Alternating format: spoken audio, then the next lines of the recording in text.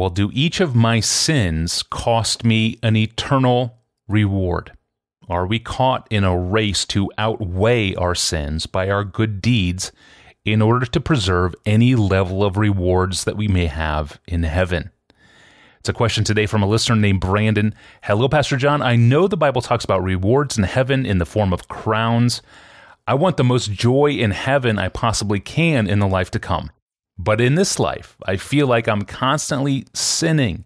And every time I sin, I feel like my eternal rewards slip from my fingers.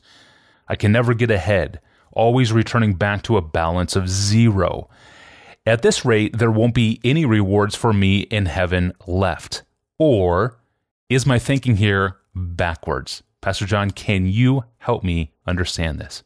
Well, it's right to want the most joy possible in heaven if the aim is to be satisfied in God Himself supremely, with the gifts of His grace as secondary echoes of His excellence that then we enjoy for that reason. So, amen to that. And I can confirm to Brandon that he not only feels he is sinning every day, he is. Yeah. I can I confirm that analysis. And so are all of us. None of us loves God perfectly the way we should. In our best deeds, there is something to regret. So, so far, so good in Brandon's thinking. And then things start to go haywire. He says, Every time I sin, I feel like my eternal rewards slip from my fingers. I can never get ahead, always returning back to a, a balance of zero. Hmm. Now, in this way of talking, I think he reveals a serious mistake in his understanding of the Bible. The mistake seems to be this rewards are given, he would say, he seems to imply, rewards are given not for each good deed, but only for the good deeds whose number surpasses the number of bad deeds. Hmm. In other words, if you do five good deeds and four bad deeds, you get a reward for one good deed. And if you do five good deeds and five more bad deeds, five or more, he says these are his words, you're back to a balance of zero. Now, I'm not sure where he's getting this notion that rewards are parceled out this way, but let me cite some passages from the Bible to show I don't think that's right. There's a very different way of thinking about rewards for good deeds than in this kind of ledger approach. Let's start with Matthew 10:41. The one who receives a prophet, that's P R O P H E T. The one who receives a prophet because he is a prophet will receive a prophet's reward, and the one who receives a righteous person because he is a righteous person will receive a righteous person's reward, and whoever gives one of these little ones even a cup of cold water because he is a disciple, because he is a disciple, truly I say to you, he will by no means lose his reward. Now, there's no hint here that if later in the day, after you give the cup of cold water to a disciple because you love his Christ exalting ministry, you speak harshly, say, to your child. No hint, I say, that you will therefore lose your reward for the good deed of giving a drink of water to the disciple. It says you will by no means lose your reward.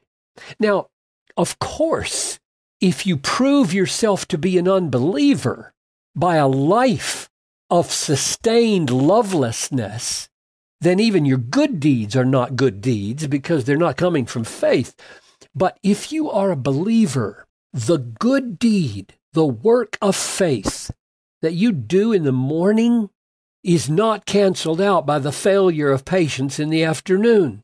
That's not the way Jesus is thinking or anybody else in the New Testament. Hmm. Or consider 1 Corinthians 3 13. Each one's work will become manifest, for the day will disclose it, because it will be revealed by fire. And the fire will test what sort of work each one has done. If the work that anyone has built on the foundation survives, he will receive a reward. But if anyone's work is burned up, he will suffer loss, though he himself will be saved, but only as through fire. Now, what's plain here is that fire is not an accountant. Fire is not counting up numbers of good deeds and bad deeds. Hmm. Or in this case, solid teachings and useless teachings. I think that's the context of what good deeds he's talking about. F- fire doesn't work that way, right? It doesn't count. Fire doesn't count. It just consumes wood, hay, and stubble. It consumes useless, harmful works or teachings, which by implication means it does not consume useful, good, righteous works or teachings. They survive the fire. And presumably they survive no matter how many bad works got burned up in the fire. If we're true believers, the good works survive. The, the biblical picture of the judgment of Christians is not like Brandon's picture of counting up bad deeds and counting up good deeds and only rewarding the good deeds if there are more of them than bad deeds. That's not a biblical picture of judgment. Or consider Ephesians 6 8. We know that whatever good anyone does, whatever good anyone does, this he will receive back from the Lord, whether he is a bondservant or free. No mention here that he, he really won't receive back for doing the good deed. If there are more bad deeds, he won't. Or consider Luke 14, 13. When you give a feast, invite the poor, the crippled, the lame, the blind, and you will be blessed because they cannot repay you, for you will be repaid at the resurrection of the just. So, if one Thanksgiving dinner, one Thanksgiving, you invite lots of international students and maybe some older folks who don't have any family nearby, and maybe a homeless man that you met on the street. You invite them to, to Thanksgiving dinner and you share your bounty joyfully with them in the name of Jesus. It says, You will be repaid at the resurrection of the just. And that is true, even if the next Thanksgiving you are in a bad place spiritually and selfishly let the opportunity go by. Thanksgiving number two gets burned up. Thanksgiving number one is rewarded at the resurrection. Here's the principle behind this way of thinking good works in the life of a Christian are rewarded because they are beautiful and their beauty is owing to the beauty of God's regenerating and sanctifying grace in the life of the Christian.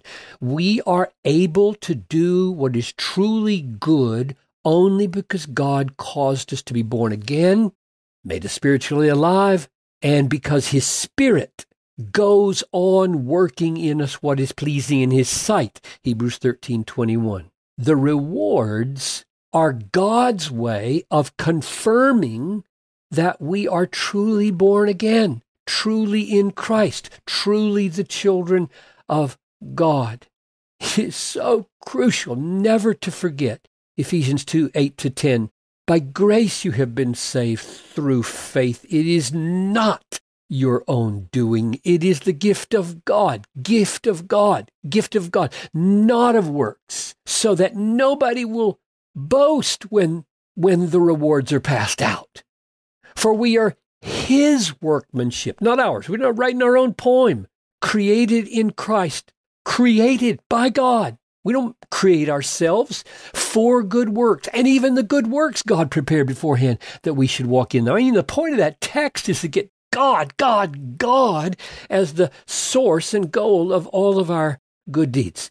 So when we are rewarded for those good works, it is the workmanship of God that is being celebrated. And that workmanship does not cease to be properly rewarded because there are other remaining sins in our lives.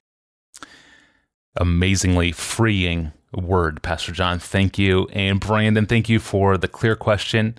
And thanks to everyone who listens. If you want new episodes of this podcast delivered to you, subscribe to Ask Pastor John in your favorite podcast app, in Spotify, or by subscribing to DG's YouTube channel. And to find other episodes in our archive or submit a question to us, do that online at desiringgod.org forward slash Ask Pastor John. Well, on uh, on Monday we're going to return uh, with a question about quarantine habits. We've we've all had a lot of time at home these days, and uh, this question coming up is searching. It's a searching question from a, a young woman who wants to know what her quarantine entertainment habits are revealing about the state of her own soul. Why, when she's most afraid of what's going on in the world, why does she most often turn to Netflix? That's queued up for us on Monday. I'm Tony Reinke. Have a great weekend. We'll see you then.